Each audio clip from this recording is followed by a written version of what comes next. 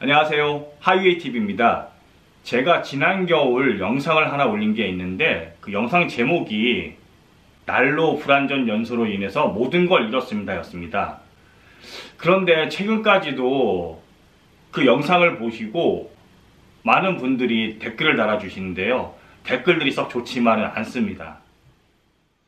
댓글들을 보면은 원인을 알아야 조심을 하지요 원인도 말 안 해주고 남의 텐트 그냥 불난 거 브리핑하고 있고 그냥 뭐 겨울에는 여러분들 조심하세요 라는 말은 누구나 다 합니다. 구독 안 누르고 갑니다. 나쁜 사람. 뭘 조심하라는 것도 없고 무엇이 불안전 연쇄의 원인인지 소개하는 것도 아니고 뭐 이렇습니다. 원인을 알아야 조심하죠. 이 댓글들이 이렇게 달렸는데요. 그 영상을 촬영할 당시에 원인이나 이유에 대해서는 말 못할 사정이 있었고요. 동계 캠핑 시 각별히 주의하시라는 의미에서 영상을 찍었습니다. 그 당시 영상에 원인과 이유에 대해서는 담지를 않았었고 어, 제목과 설명 글에만 난로 불안전 연소가 원인이라고 글을 남겼었습니다. 그럼에도 불구하고 그 많은 댓글들이 보신 바와 같이 달렸기 때문에 오늘 이 자리를 빌어서 확실하게 말씀을 드리겠습니다. 그 텐트의 끄으름 발생 원인은 난로 연통 미정렬로 인한 불안전 연소가 원인이었습니다. 네, 제가 장박을 하고 있었던 캠핑장에 눈이 상당히 많이 내렸었고요. 그 당시 캠핑장 측에서 텐트 내부에 페니터나 난로가 있다면 어, 무너질 것을 대비해서 틀어주겠다는 연락을 받았었습니다. 사고가 난 텐트에는 파세코 캠프 27이 있었고 캠프 27에는 이렇게 자동 점화 장치가 있으나 그 당시 건전지가 없었던 관계로 캠핑장에서는 수동 방식으로 난로를 켰습니다. 수동 방식으로 킬 때는 이 부분을 열어서 들고 이쪽에 라이터 등을 이용해서 심지에 직접 불을 붙이는 방식인데요. 그렇게 붙이고 나면은 좌우로 흔들어서 연통 정렬을 해주어야만 합니다. 연통 정렬이 제대로 이루어지지 않아 가지고 난로 불안전 연소가 발생을 하였고 그로 인한 끄름이 발생하여서 텐트 및 내부에 있던 모든 장비들을 사용을 할 수가 없게 되었던 겁니다. 이 영상을 보시는 분들은 다가오는 동계 캠핑에 각별히 화기에 대해서 신경을 한번 더 쓰시기 바라며 다시 한번 경각심을 가지고 이 영상을 봐주시기 바라겠습니다.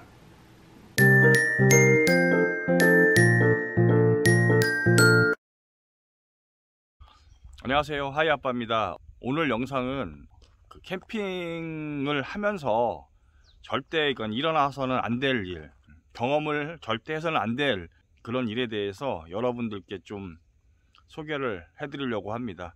다시 한번 강조를 하고 또 강조를 해도 부족함이 없는 어, 그런 일이라서 좀 여러분께 직접적으로 한번 보여드리고 어, 겨울 동계 캠핑 하실 때 정말 화기에 관련해 가지고는 각별히 신경을 쓰셔서 동계 캠핑을 즐기시길 바라겠습니다.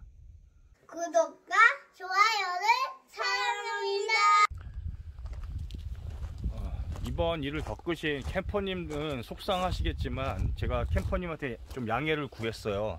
이런 거를 좀 찍어서 보여드리고 해야지 캠핑을 즐기시는 분들한테 좀 경각심을 심어질 수 있을 것 같다고 얘기를 해가지고 어, 협조 하에서 허락을 받고 지금 촬영을 진행을 하고 있습니다. 아 여기 지금 이 텐트 지퍼 사이에 있는 이게 보이시는지 모르겠지만 이게 단순히 뭐 곰팡이나 때만은 아닐 것 같습니다. 보이시나요? 제 지퍼만 열었는데도 지금 손이 이렇게 거뭇거뭇하게 묻어나고 있어요.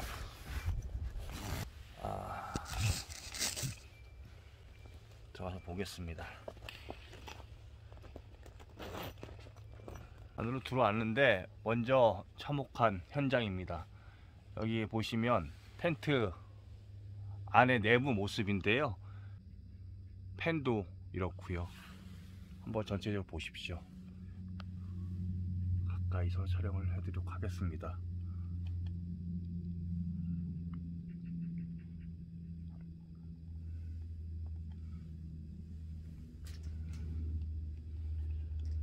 자, 여기 보시면은 옷들도 전체적으로 다 꺼뭇꺼뭇한 끄름이 다 묻어 있고요.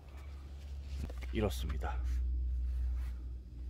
이런 사이다병, 페트병에도 그렇고요. 음.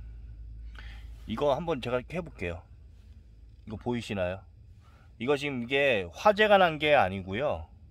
난로의 그 불완전 연소, 불완전 연소로 인해 가지고 이 끄름이 다 발생을 한 겁니다. 음, 귀염귀염한 인형들도 전부 다 이렇게 거뭇거뭇하게 변했고요. 이번 일로 어떤 인명 피해는 일어나지 않았지만 만약에 저게 사람이 있었다면은 정말 끔찍한 더 끔찍한 일이 될 뻔했습니다. 보시면 쓸 수 있는 게 아무것도 없습니다 지금. 와, 이불도 그렇고요. 이게 얼마나 침투력이 강하냐면은 몇 겹을 깔았는데도 불구하고 이 안에까지 안에까지 다 스며들어 가지고 사용할 수 있는 것들이 없습니다. 이 카페트도 지금 보이시나요? 이게 원래 이 색깔이 아닙니다 지금